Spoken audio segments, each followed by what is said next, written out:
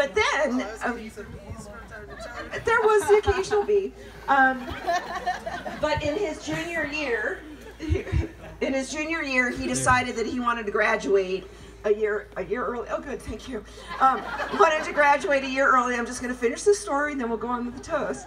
And and so we said fine, but for him to graduate early, he had to apply for correspondence courses. And back then, this was in the would have been 90s, and so everything was on paper. 2000s. Right. Okay, it was a little later than that. 2004. Okay. Anyway, they we didn't have the internet then. I'm pretty sure, and so you had to do everything It was in early stages. early stage. Anyway, so he applied. He had to petition the school board to get permission to graduate early. He found a school that would give him correspondence courses. He completed his senior year by distance correspondence education while he was completing his junior year, and all of his grades went up. And so, the one thing I would like to say about Sam is that when he's motivated, he can do whatever he wants. Mm-hmm.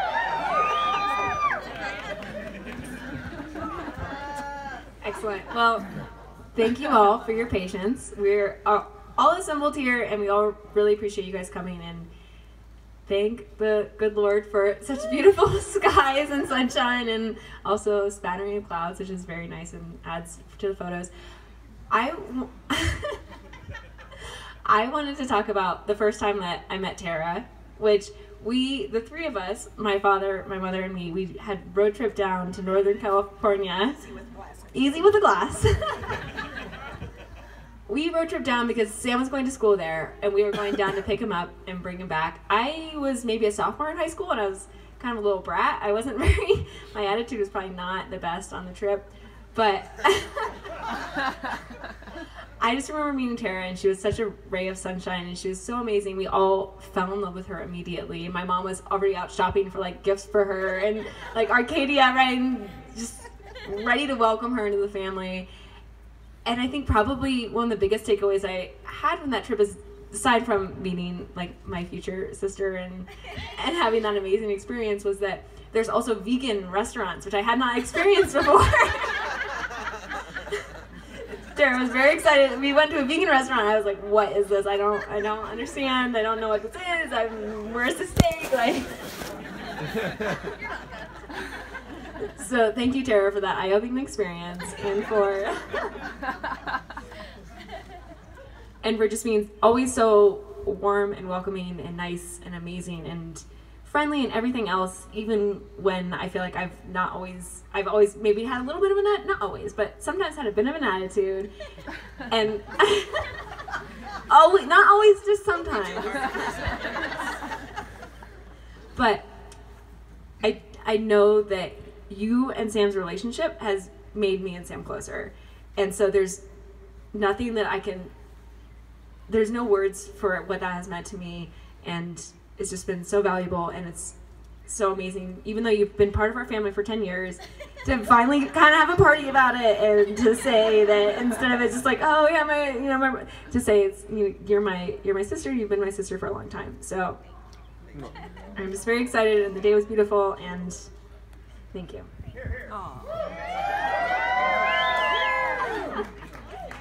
So everybody raise your glass. and cheers to the bride and groom. Cheers. Cheers, Dad. here. Excellent job, baby girl and Kristen. Okay, Eric, the bride's father.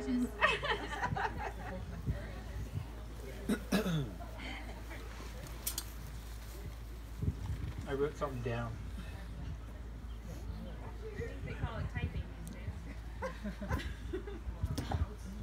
Not if it's Richard Burns. Yeah, I didn't really write. Um,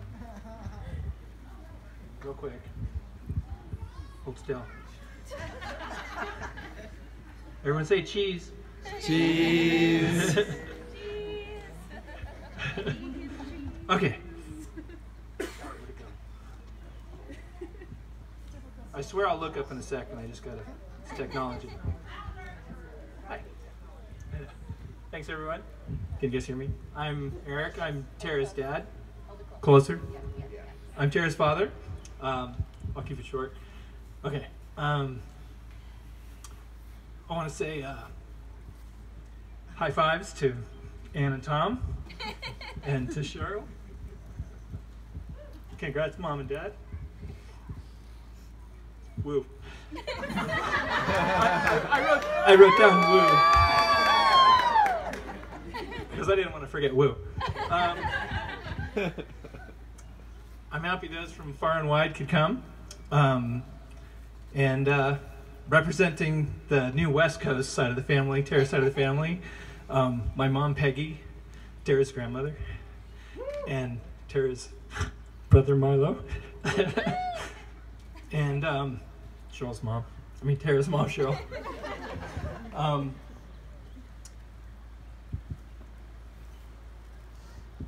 I wish my sister Betty could be here, and Cheryl's mom Carol, and um, my dad, because I think my dad John would totally love all you people, and you guys would sit and share stories for hours.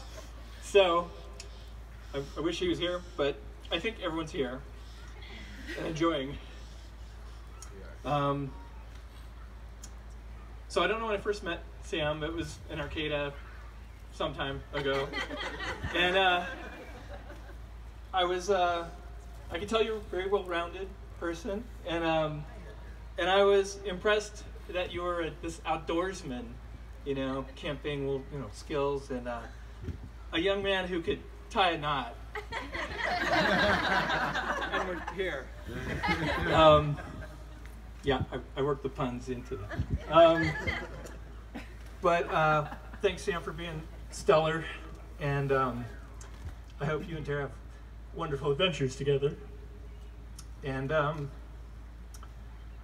I wasn't sure the summer was coming because we went through a, a, blizzard to get here two days ago. Um, and uh, yesterday was the solstice, which was the longest day in the year. So today's the second longest day in the year, which is a great day to have a long day for celebrating. So, as the Scottish say, to your health, Slàinte mhath. Slanjavar.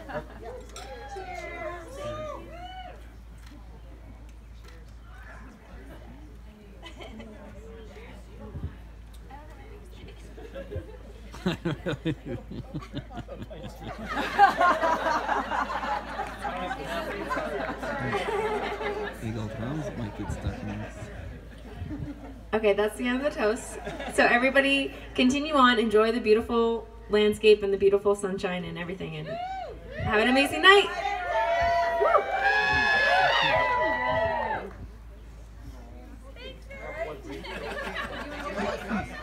Hold on. Hold on. Just one more minute.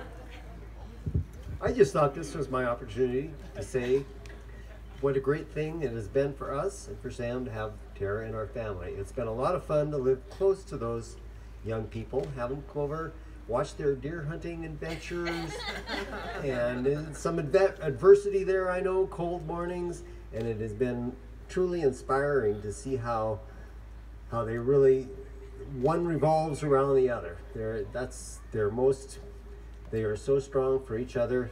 I never they took them a long time to get married, but I was really never worried about it because they were so magnetic to each other that it just didn't seem like they could be without each other. I mean, what's to give up in either one of them?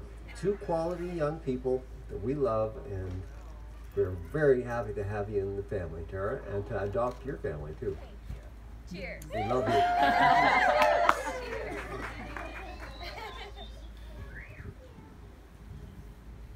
Oh. That's all, folks.